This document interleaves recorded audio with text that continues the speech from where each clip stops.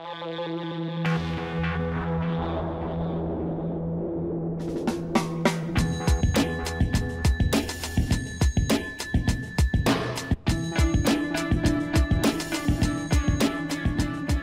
how's it going? And today we're going to take a quick and dirty look at the simulation template in Unreal Engine 5. You might want to upgrade to 5.21.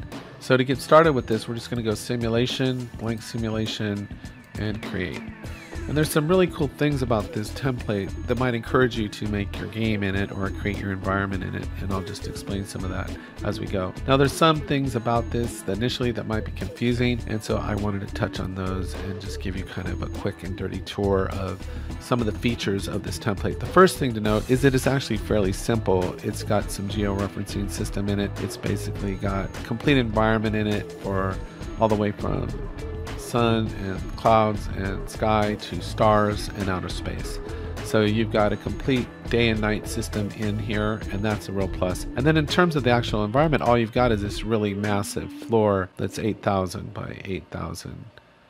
And so it's not infinite, but it's it's really big. It takes a while to get to the to the end of this plane. And you'll see what I mean in just a minute. Now, one of the most confusing things about this is that normally when you come into a template, the game mode is already set to whatever that template is. And there is a game mode for this template, but we don't need to set it because it's all these components are going to spawn in. So what do we have? We have a BP pawn, then we've got the game mode, and then we've got this controller. And then we have this widget that you'll see where that comes in in just a minute. Now, let's just kind of go through these real fast and show what each one is. But if I hit play just to show you where we're at, we're in the pawn right now. And if you look over here on the outliner, you'll see that our pawn is spawned in, the game mode is spawned in, and the controller has all spawned in. And we can move around just like any regular controller W, S, A, D, Q, and E. One real modification here is that if we're going W and I turn the scroll wheel forward, I can really speed up. Like really speed up incredibly fast. And then if I hit the middle mouse button down, I can slow down. I can start slowing down. Just to normal normal speed. Now, if you want to ever know what those controls are, you can just double click into the BP pawn and you can see all these controls are here. If we go into the event graph, you can see mouse wheel up or forward is increase max speed, down decrease, middle mouse button, slow. So really there's no difference between this pawn and any other pawn. It's in the default pawn class from the parent class. It's just a souped up with some additional controls in it. That's the only really advantage it have. And if we go into the mesh component here and go to the viewport, Hey, how's it going? I just wanted to do a super quick update to a video I just did on the simulation template. And in there, we added a sphere to the BP pawn here. What I didn't realize, we were on a mesh component and we couldn't see it. And I went ahead and added another sphere. There's no need to do that. Turns out that the visibility for this is off, is all we needed to do. So if we go to visible and just turn on the rendering, there's a sphere already there. So you don't need to put in a sphere. And the other thing is, since it's a mesh, a static mesh, we can replace it with any other thing that we want. I'm just grabbing something weird here, like uh, this rail thing. Oh, that's kind of small. Let's grab something else. Oh, this thing. We could grab this as our pawn. So the beauty of this is that if we come in here and I hit, well, let me drag another pawn on here. So if we hit play, anything can be the static mesh, anything that we want. Now there's no materials on this, but so this could be a spaceship or a rocket or whatever. So in other words, the pawn can be any item that you want it to be. So just forget about that part I said about adding a sphere and make sure when you do that it's set to movable. I've made that mistake a few times. We won't be able to see this, but we'll be able to see its shadow. So if we go back into the game and we hit play, you can see the shadow of our sphere and as we're moving along you'll see the shadow. So this could be like a low-flying jet or something like that. It doesn't have to be a sphere, it can be anything. And you can see its shadow right there, right down there. So that's really cool. And the other thing is if we hit play, and again, these are some of the features. Now, to show you, let's say there's a quite a few menu buttons or keyboard buttons.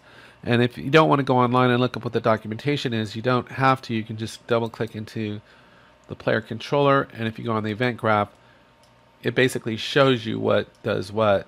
So in this particular simulator, home basically creates, these are all day to night settings that are kind of cool that you could use in a simulation. Home takes you to noontime and page up takes you to dusk and then page down basically increases the day night cycle. And then here's another one that's really interesting is enter and basically that allows you to switch between your pawn, they call it the free floating pawn, and the last pawn on the level. In this particular case, we don't have any other pawn in the game, and so there, if I hit enter, nothing's going to happen. So, but be aware of those controls. And then down here on the widget, if you press P, it brings up controls to assess performance level of your game, and then there's also G for georeferencing information. So let's take a quick look at all those right now. So if I hit play, I'm in the game, and if I hit P, those are the stats I'm telling you about. And this is why I think this could be ideal for creating a game because it allows you to test your game at different frame rates. It shows real easy to bring up the stats, the units, the engine. You just click twice to open and close each window. And so that's why I say you can assess very easily the impact your game is having on your system. It's just very easy to at different frame rates too. So this is really a handy feature and you then you just hit P again to come off of it. Excuse me, P. I guess I have to click them off to get rid of them. Okay, and then if you hit G on the bottom, there's some georeferencing information there. And I didn't realize this before, but I guess I have to unclick these units off so they'll stay on the screen. So if I hit P and I leave the button on, and the menu goes away, but the stats stay. So I guess you got to unclick that. Okay, so P gets rid of the menu, and then you have to toggle the individual buttons. Okay, and there's that. Now, if we hit the, what is it, page up, you'll see that we're going to change to dusk. And where's the sun? Look, so if I hit the home button, it goes to noon time, and I hit page up, it goes to dusk and I hit home and it goes back to noon. And you can see the sun. If I hit page down, it slowly loops through the whole day night cycle, which is really cool. And actually goes into nighttime with the stars, which is super cool. And then it comes back, and you can actually see the sun go across the sky. So that could be really useful in an animation. Okay, and I'll just hit home to go back to that. So there's all that. And then what's even greater about this now, knowing that we have a souped up widget, is that if I hit E to ascend and I turn the scroll wheel, I can ascend pretty darn quick into literally space. So that's where we're going. And if I look down, you can see how big the plane is. Like I said, I don't know how big it is, but I think it's a few miles. So it's not infinite.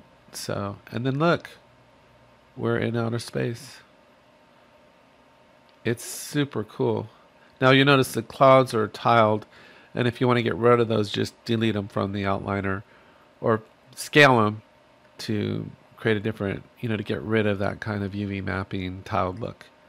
Now, if you want to get back down to Earth or where you were, you can hit Escape, click on the sun sky, and hit F, and it takes you right back down here to kind of ground zero.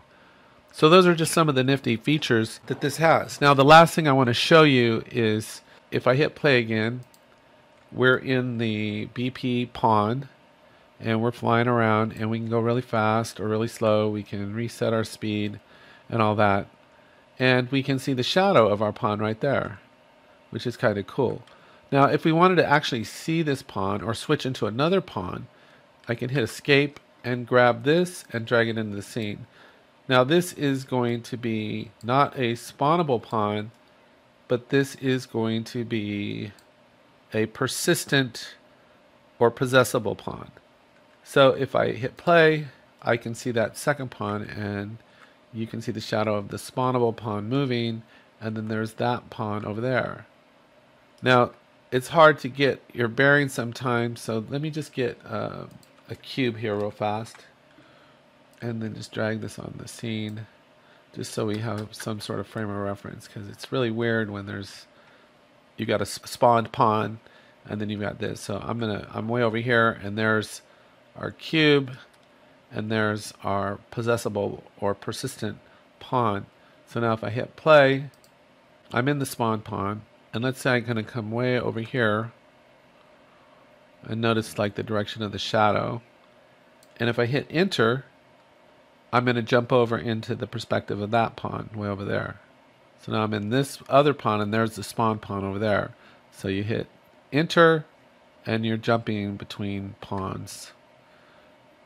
And all of this, if you're interested in how that's programmed, is you just come into the player controller and you can see that logic is here, which is kind of interesting. So when you hit enter, the spawn pawn is a zero value, right? So if it will be, it has an index value of zero, the spawned pawn. So that's going to be true. So if that's true, then it gets any other pawn that's on the level and possesses it. And then the next time you press enter, it's not going to equal zero because you've got a different pawn. And then it's going to go false and then it's going to grab the initial pawn that you had. So it's just a way to toggle between if you have two pawns, at least two pawns. And then down here, what you can do is bring in additional pawns and then assign index values to those pawns and then jump between several different pawns just by pressing one, two, three, four, five, six. So to do that, all you'd really do is you'd come in here, and I can just show you real quick what you'd need to do to do that. You'd come in here and go to variable and you can just call this pawn number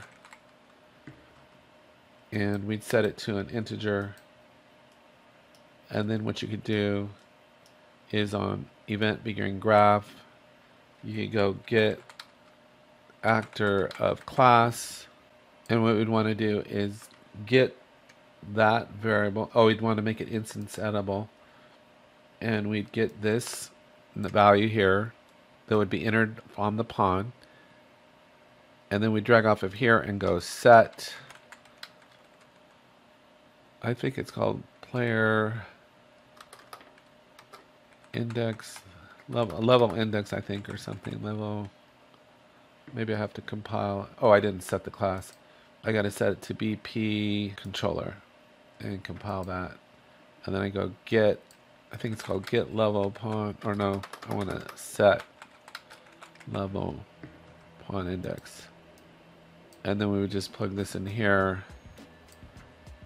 and that into there. And then if we come in here and we let's say we dragged another pawn on to the to the game, if we come down in its details panel, you could see that we could set the value over here, the pawn number. So I think um, two is one. So oh, so it's a one.